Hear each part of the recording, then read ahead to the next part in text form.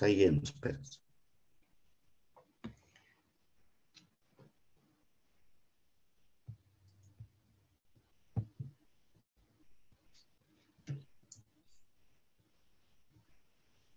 Muy buenos días, muy buenas tardes o muy buenas noches a todos los que nos escuchen. Julio, estás contigo, conmigo por acá, ¿no? Claro que sí, por aquí estamos. Adelante. En primer lugar, queremos dar la más calurosa bienvenida a este nuevo programa organizado por el Frente Intercontinental del FMLN, canal oficial de la militancia en el exterior, rompiendo el cerco mediático y puente de la solidaridad internacional con el pueblo salvadoreño. En esta ocasión estaremos conversando con Marlene Funes, candidata del diputada, perdón, diputada del FMLN por el departamento de, de Usulután, sobre temas de la actualidad, como es el caso de la coyuntura nacional y el trabajo propiamente de la, en, la Asamblea Legislativa. Mi nombre es eh, eh, Julio César Realejeño,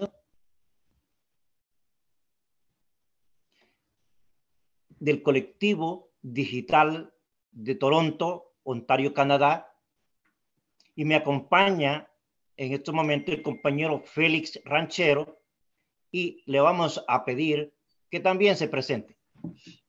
Como decíamos, muy buenos días o muy buenas tardes, muy buenas noches a todos los que nos escuchan.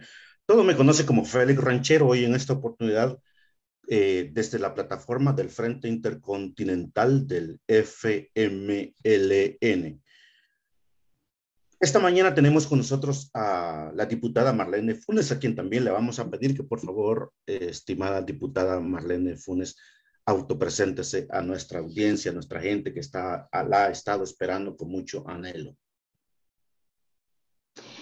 Muy buenos días, Julio y Félix, y también a toda la comunidad de hermanos del FMLN en todo el mundo y también a los que nos sintonizan acá en nuestra querido país.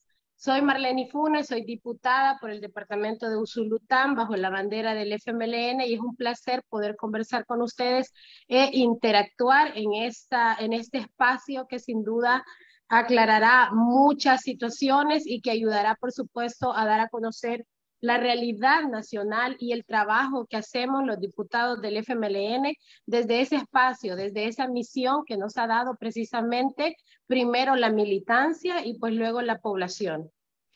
Muchas gracias, Marlene, y bueno, esperamos que también la gente participe, haga preguntas o también ahí estará en el chat abierto para que nos eh, se comuniquen con nosotros.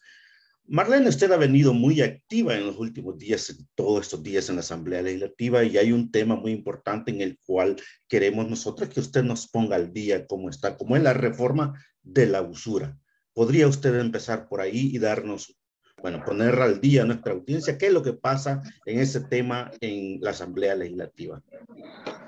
Muy bien, este, Félix y Julio, déjenme contarles de que el oficialismo desde la llegada a la Asamblea Legislativa decide em, tomar algunos temas como banderas insignias y hacerle creer a la población de que está trabajando en algunos temas específicos. En este caso, ellos dicen la justicia financiera que la van a llevar a cabo, según ellos, desde la Comisión que lleva por su mismo nombre la Comisión Financiera de la Asamblea Legislativa, donde se tiene una gran oportunidad para poder trastocar y reformar el sistema financiero de nuestro país. Antes de que, que a cualquiera se le ocurra decir por qué no lo hicieron ustedes antes, por qué no, Solo recordarles de que el FMLN jamás tuvo 43 votos y creo que ni en sueños tuvo 56 votos, que es la mayoría calificada en la Asamblea Legislativa. Siempre que el FMLN quería impulsar una reforma de ley, tenía que entablar conversaciones y convencer a los diputados de otras fracciones para que le acompañaran.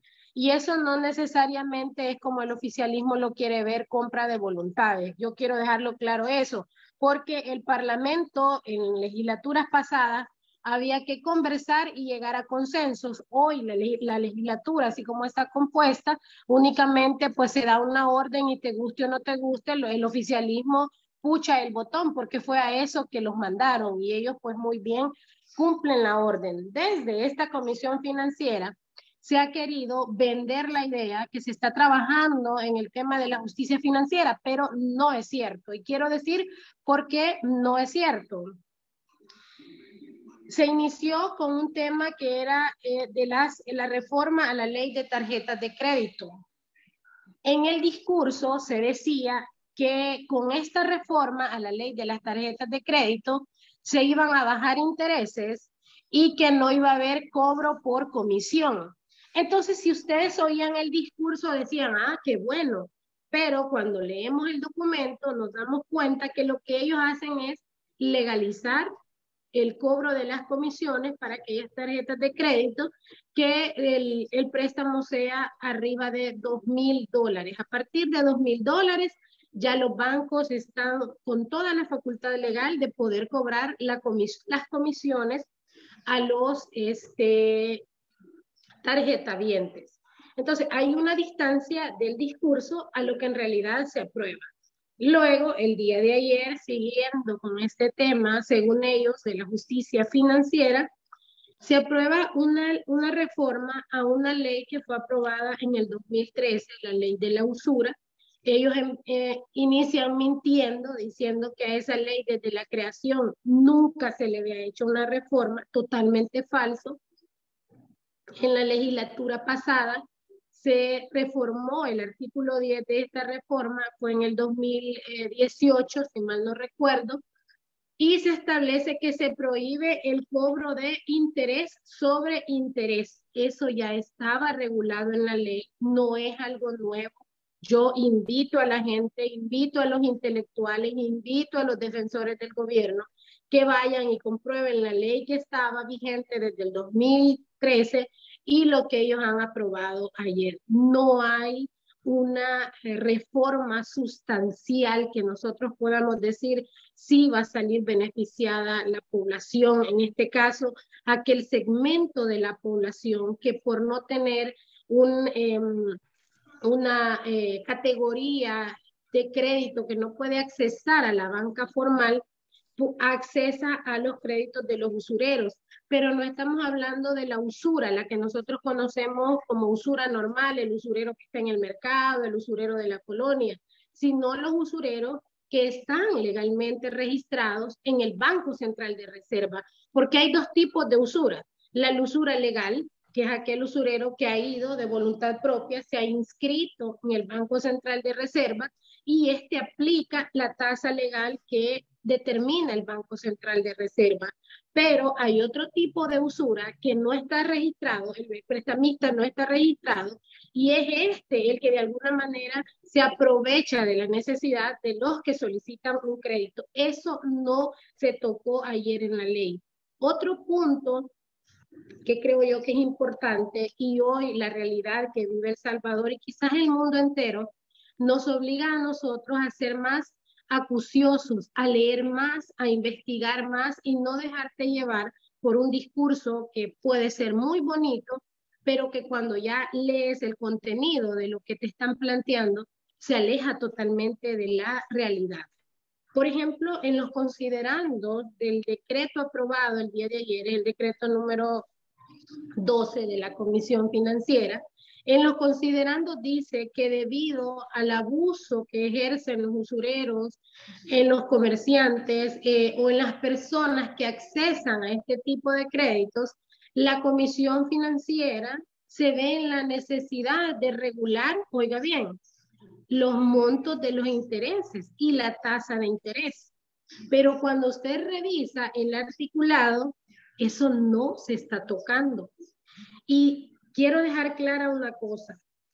En la ley de la usura aprobada en el 2013, se estableció cuál era el método, cuál era la fórmula y cuál era el número multiplicador para poder determinar la usura.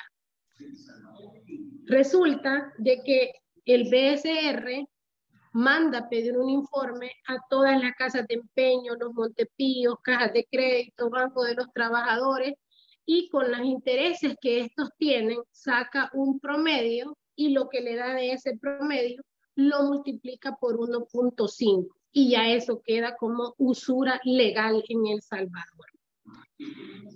Eso ayer no se tocó. El día que se toque ese 1.6, 1.5 y se deje en un dígito o abajo de un dígito, entonces vamos a estar hablando de verdaderas reformas a la ley de tarjetas de crédito y que sí va a venir a beneficiar a los que por necesidad o por no poder optar a un crédito formal van a estos lugares y prestan dinero. Yo quiero decir algo.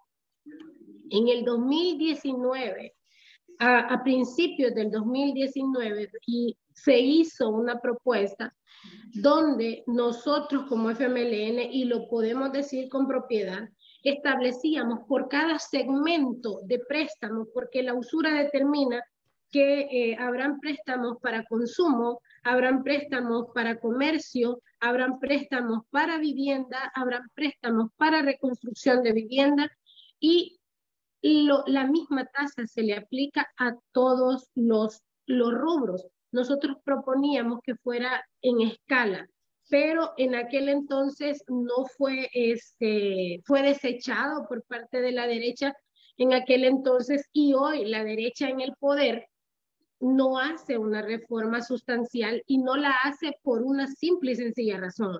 No quiere hacerla y por supuesto nosotros sabemos ellos necesitan estar bien con los bancos nacionales incluso hasta con los usureros porque ya nadie les presta y tal vez están viendo, ahí hay una posibilidad de ver cómo también entran recursos al Estado.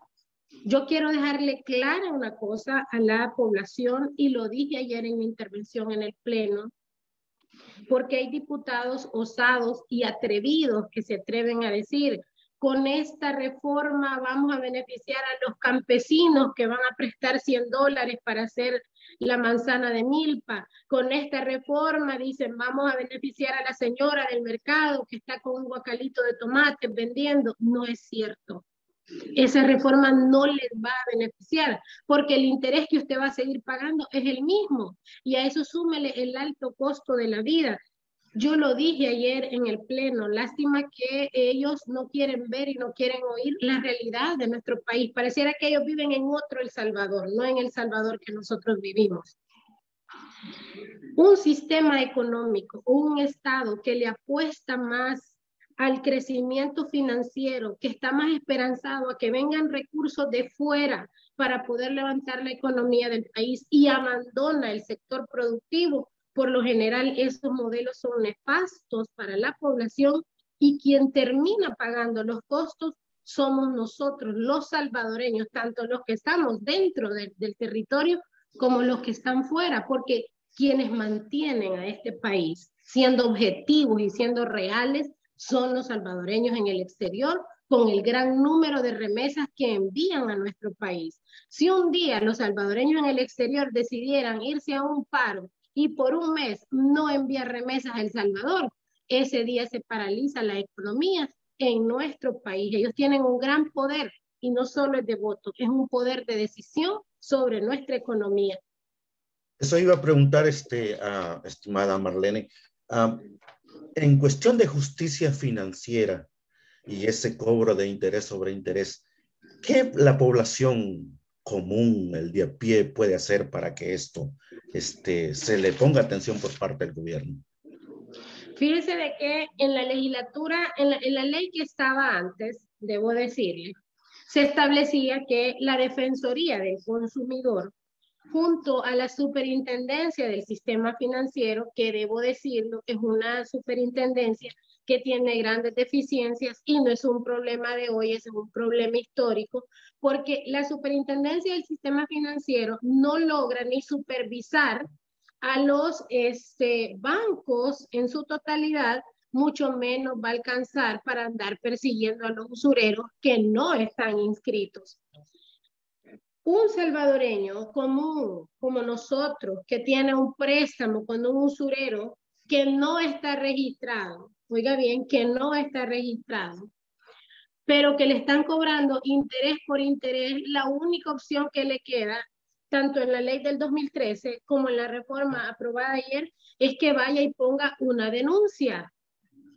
Cuando él va y pone la denuncia ante la Defensoría del Consumidor, trámites muy engorrosos porque no se facilitó la, la, el acceso a la, al tema de ir a la, a la Defensoría del Consumidor. Es un proceso normal que va a tener que hacer un salvadoreño, pero ¿cómo va a comprobar la Defensoría del Consumidor que la persona a la que denuncia este salvadoreño es usurera si no está inscrito en el Banco Central de Reserva?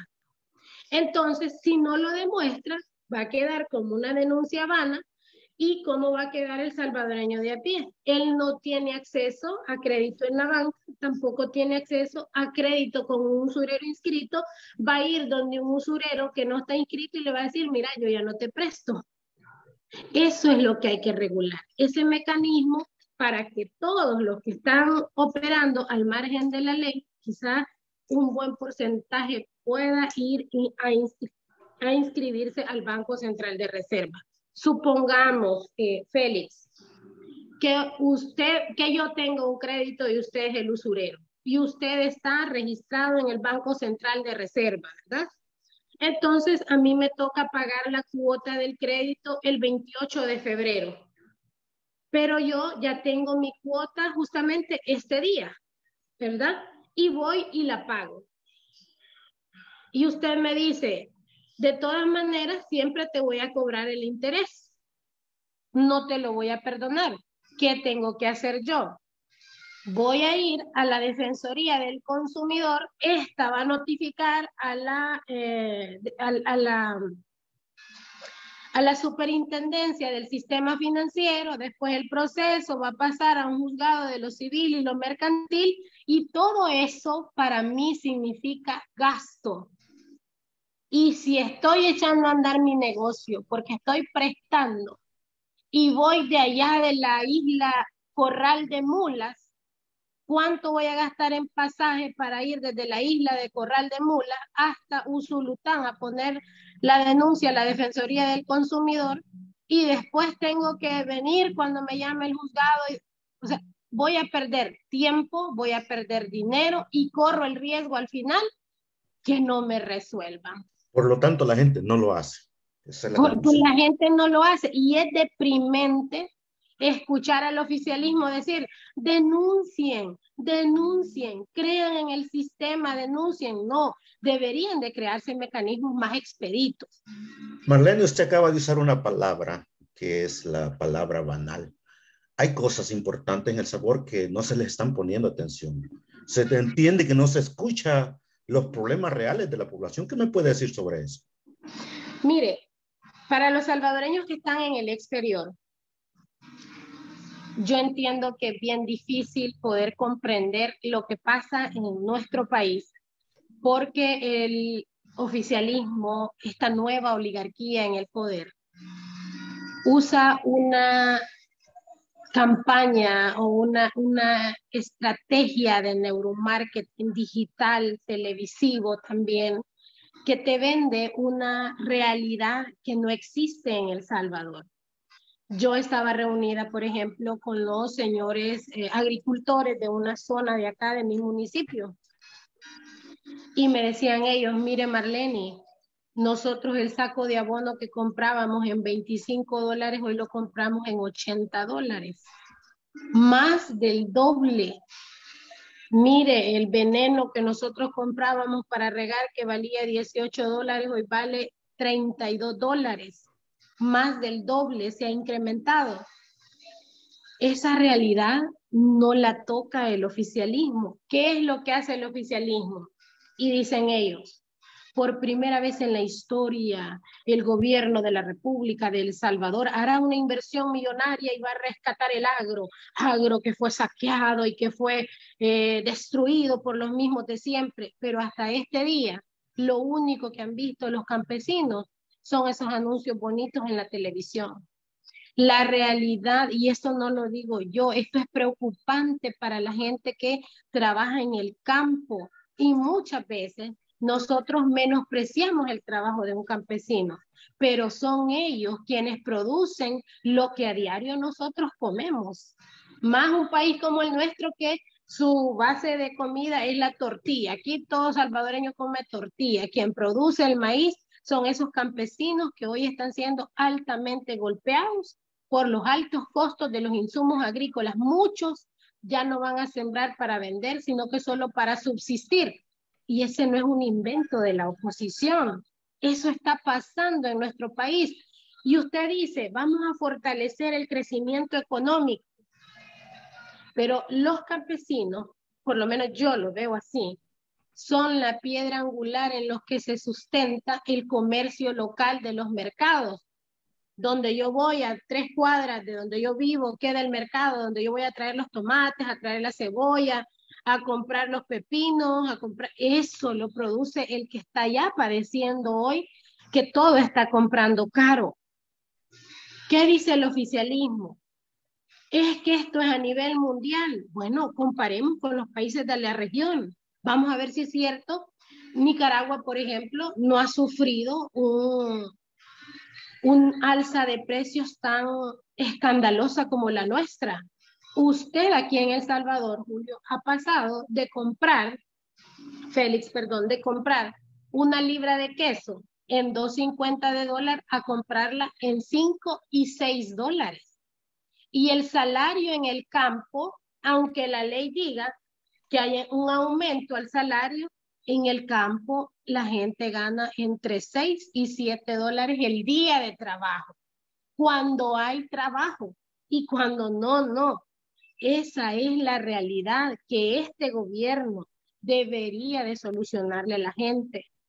Y a él no le caben excusas, amigos, de decir, no podemos mayoría en la Asamblea Legislativa, control total de la Corte Suprema de Justicia, control total de la Fiscalía General de la República, controla las Fuerzas Armadas, controla la Policía Nacional Civil, todo tiene un control total. Pero es tan complejo como juega con los sentimientos de la población que mientras se eleva el costo de la vida, mientras los campesinos se quejan, mientras no ha pagado la semilla certificada que les agarró el año pasado a los cooperativistas, mientras no les ha pagado, nos habla de que va a construir un, hospital para perros en la capital. Y hay gente que, ay, qué bueno, el presidente va a construir un hospital de perros. Pero digamos que una persona se le enferma un perrito en La Tirana, una zona bien aislada de Jiquilisco, La Tirana vive de curiliar. A eso sumémosle que hoy hay veda y que el perrito se le enferma cuando hay veda. Y ella vive de sacar curiles y vender curiles. ¿De dónde va a sacar dinero este salvadoreño o salvadoreña para ir desde la Tirana pagando pasajes que solo salir desde, desde la Tirana a San Marcos Lempa cuesta cuatro dólares? Y el canasto de curiles lo venden tres dólares, todavía le falta un dólar solo para pasaje. Y después tiene que abordar un bus que lo lleve a la capital y de la capital tiene que abordar, si es que lo llevan con el chuchito enfermo, de la capital tiene que abordar un Uber o un taxi para llegar al hospital de perrito. Eso que ha diseñado el presidente no es para nosotros, la gente pobre. Eso no es para nosotros. Eso es para la clase media, que vive en la capital o que vive en las zonas urbanas cercanas a la capital. Marlene, permítame, permítame invitar a nuestra audiencia, quienes nos están escuchando y aquellos que vean el video. En esta semana que pasó también se hizo una entrevista a la gente de la CIRAC del sector agropecuario y ellos hablan de ese problema de la agroindustria y del apoyo al campesinado El Salvador. Invito a esa gente que vea ese video porque también la ponen, la ponen clarita, la ponen como va a continuar El Salvador hacia abajo, con hambre. ellos hablan de ese tema que usted acaba de tocar. Pero yo quisiera que entráramos también en el tema de organizar a las comunidades. ¿Cuál es la organización que las comunidades necesitan para lograr que superar estos problemas, para sacar a El Salvador adelante? ¿Qué tiene usted?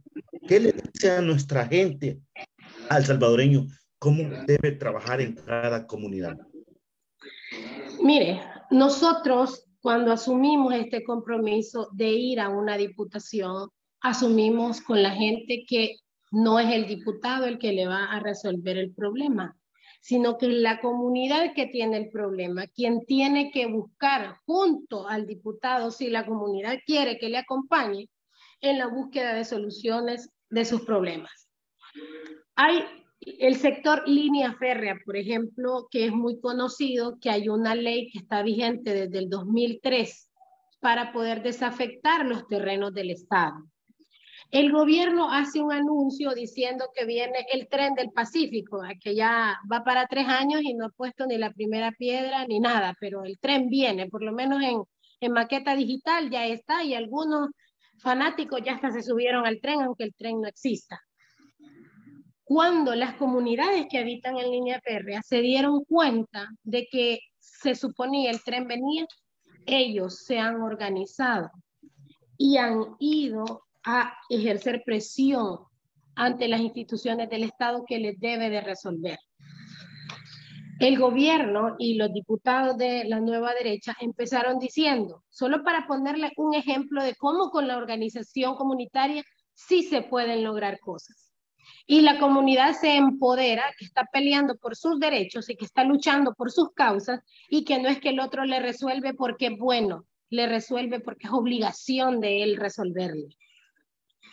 Empezaron diciendo los señores en las diferentes carteras de Estado que se ven involucradas en este tema y la misma asamblea que ese era un tema del FMLN y que era un tema de los mismos de siempre, el tema de de, darle los terrenos de la, de la línea a familias que tienen hasta 20, 30 años de habitar ahí. Fue la gente personalmente con sus propios recursos hablar con ellos. Este es un tema nuestro de organización.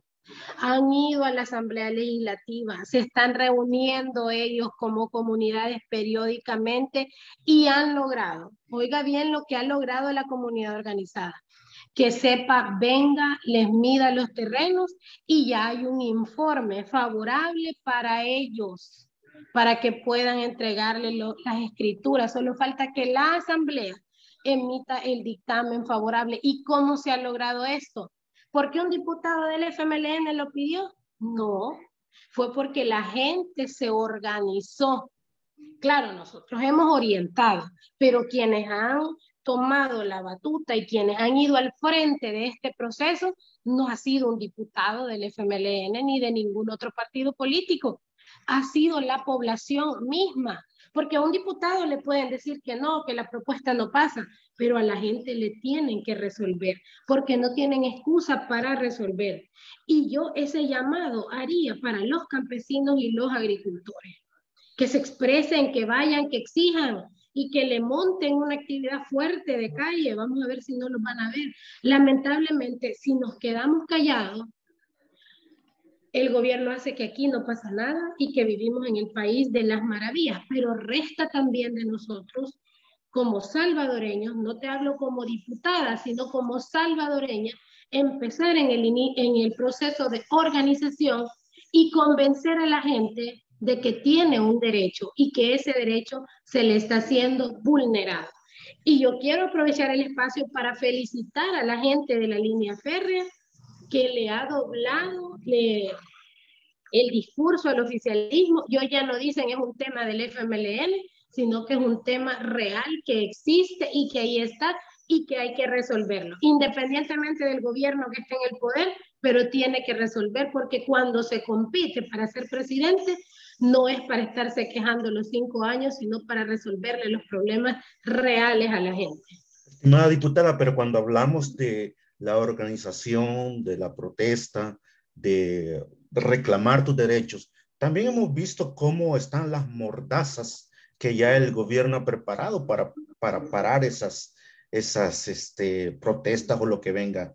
pues han habido, hay todo tipo de represión contra las, las iglesias, contra los periodistas, contra los comunicadores, etc. O sea, estamos ante una situación que antidemocrática. Yo le agradezco realmente. Adelante. La represión se agudiza día con día en El Salvador. Hay algunos que se atreven a decir, estamos llegando a la época del 70, a la década de los 80.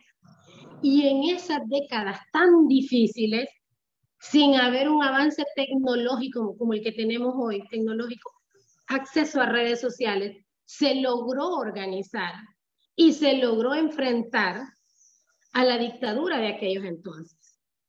Hoy, en, en pleno 2022, no solo podemos manifestarnos o organizarnos de una forma. Esto que ustedes hacen a través de este medio digital es una forma de organización, es un método alternativo, es para que el que esté escuchando todos los días la medicina amarga del oficialismo que se la vende en caramelo, oiga otra parte de la realidad que pasa en El Salvador. Ustedes hacen su parte. Le voy a poner un ejemplo, mi estimado Félix. El 16 de eh, enero, cuando se conmemora la firma de los acuerdos de paz en El Salvador, mucha gente, y a mí me consta, se organizó por sus propios medios y dijo, vamos a ir a la marcha. Y pusieron retenes policiales. Ahí donde lo retuvo la policía, la gente se bajó, tapó la calle con piedras y se manifestó. No necesitó llegar a San Salvador, se manifestó ahí, no tuvo miedo, no se quedó en el bus, no se regresó, se manifestó ahí. Y usted no vio eso en la televisión, usted se dio cuenta de esas manifestaciones en las redes sociales.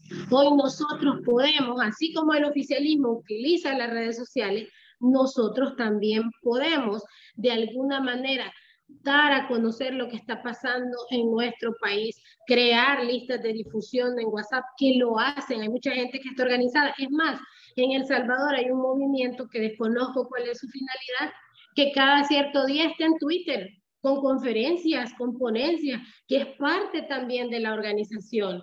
O sea, los salvadoreños estamos usando la creatividad para podernos, eh, para podernos que nos escuchen. Y yo le voy a decir una cosa. Hay gente tan pesimista que dice, no, cuatro diputados, ¿qué van a hacer? No, no importa, uno puede ser, pero ese uno tiene la oportunidad de desenmascarar desde ahí, desde el Pleno Legislativo, las mentiras que están haciendo. El día de ayer yo me atreví a decirles mentirosos, lo hizo Jaime también, solo dos de 84 diputados nos atrevimos a decirle esa reforma es una mentira. Más de 20 diputados del oficialismo se dedicaron a estarnos contestando. ¿Qué significa eso? Que ellos saben que es mentira y que necesitan defender y no defendieron la postura. Lo que hicieron fue atacar y denigrar actos que pasaron antes, pero no desmintieron que esa ley es una es un engaño para la población al no tener argumentos, ellos caen que devuelvan lo robado, que los exiliados, que no sé qué, pero no atienden los problemas reales de la gente. Yo creo de que sí es posible organizarse y que así como se hizo en los 70, en los 80, con mayor dificultad, porque usted no tenía un teléfono celular, usted no tenía acceso a Facebook y se organizó la gente. Y la iglesia jugó un papel importante.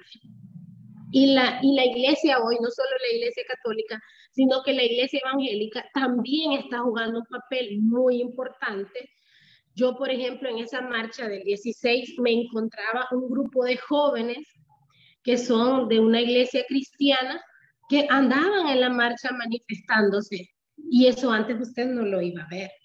¿Qué significa eso? Que la realidad ya empezó a golpear más duro en nuestro país. Y aunque el oficialismo quiera minimizar ese tipo de actividades, pero existen, los problemas están ahí, son reales y nada hace él por resolverlo y no lo hace porque no quiere. Yo creo que organizarnos sí es posible.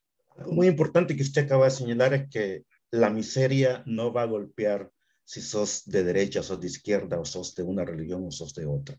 Está golpeando al pueblo salvadoreño en general. Julio, ¿tienes algo que puede, quieras agregar o quieras decir? Eh, en primer lugar, quisiera preguntarle a Marlene. Eh, ciertamente, ella lo mencionó de que se ha, se ha desarrollado o se ha confirmado ya una reforma mentirosa Segundo punto, hay un descuido total a la pequeña y mediana empresa.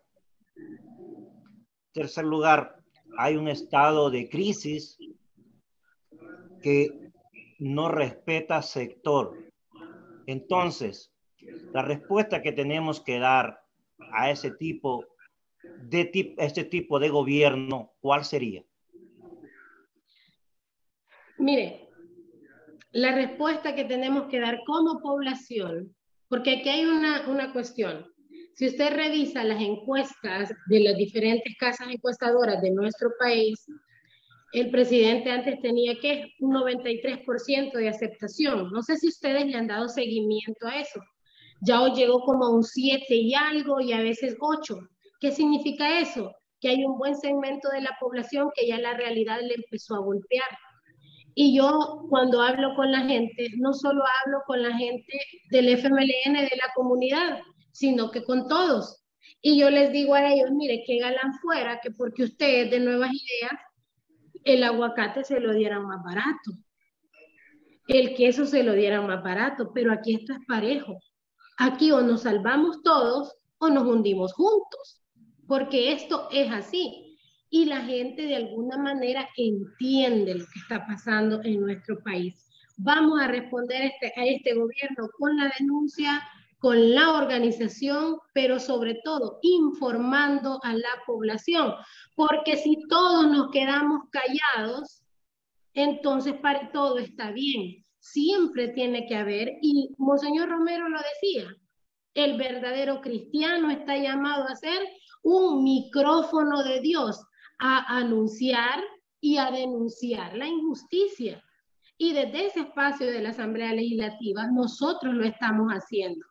Porque, por ejemplo, yo he visto a Arena muy callado, no dice nada, no se pronuncia, caen en cuestiones cosméticas muchas veces, pero en los problemas reales que están pasando en nuestro país, pareciera usted que cuando llega a la Asamblea Legislativa y se siente en ese curul, está en otro país no está en el país donde todo está caro, donde hay fosas clandestinas con, con centenas, con decenas de cuerpos. Parece que e, cuando usted se siente en ese curul, pareciera que está en Europa quizá y que aquí eh, los problemas no existen en El Salvador. Y a los diputados también se les olvida.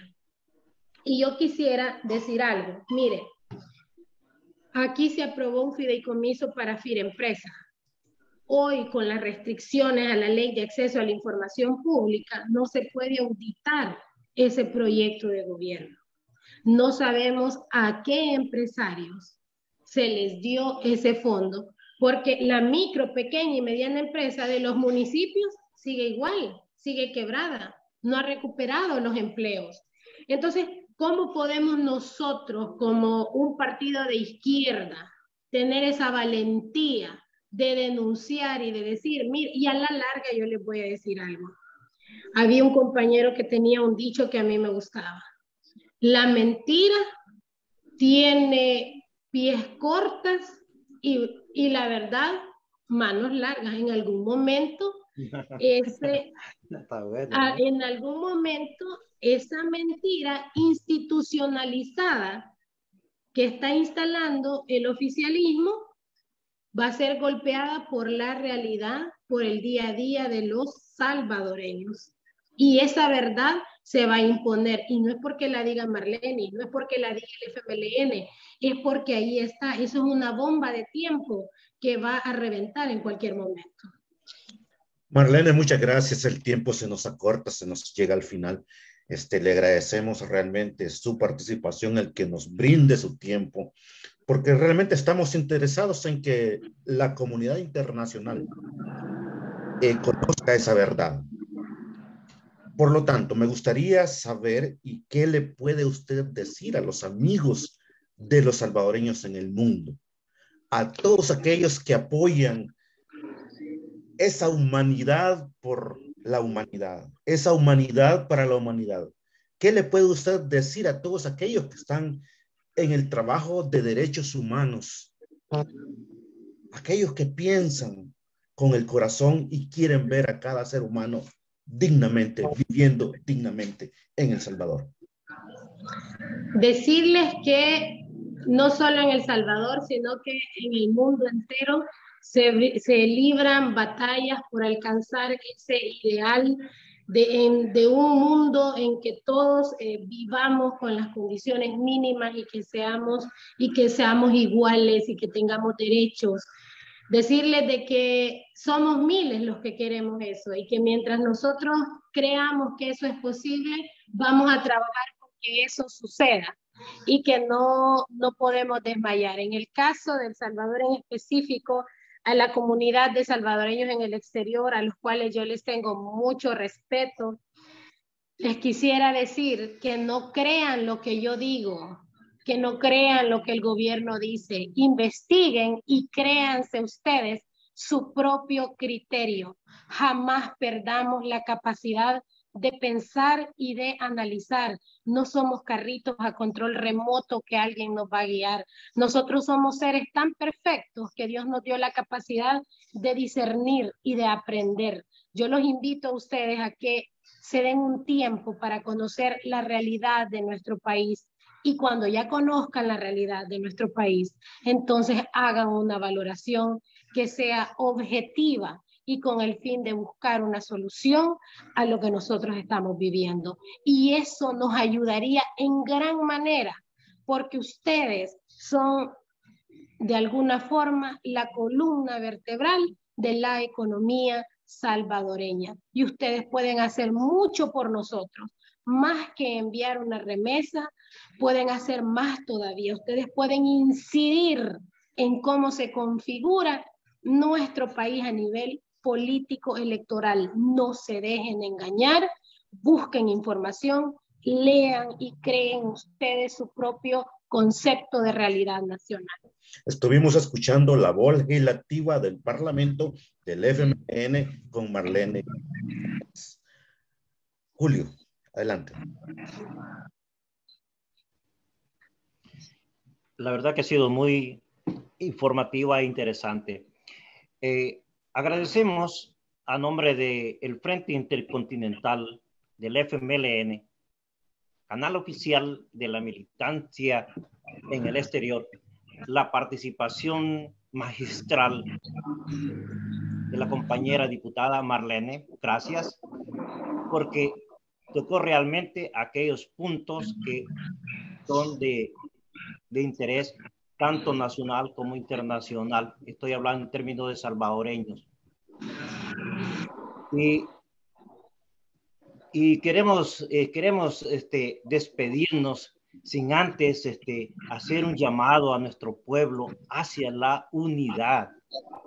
Tenemos que también aprovechar este medio para exigir la libertad por los y las presos políticos de El Salvador.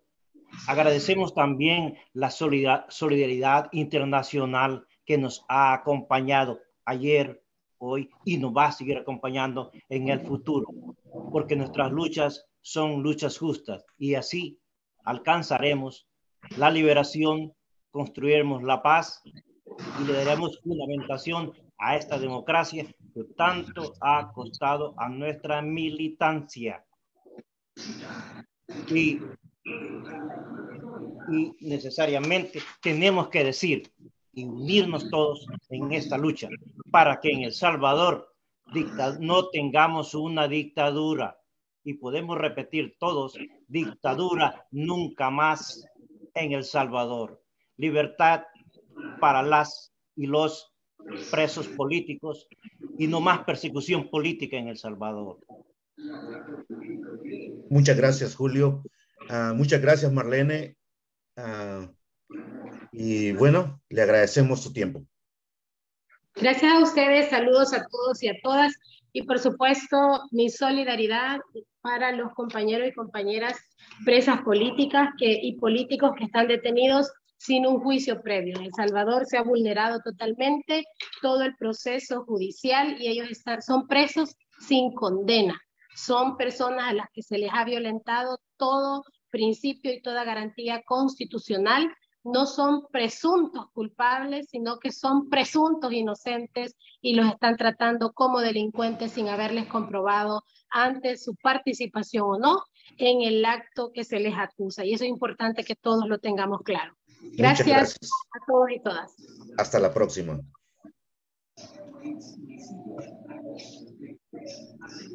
すみません。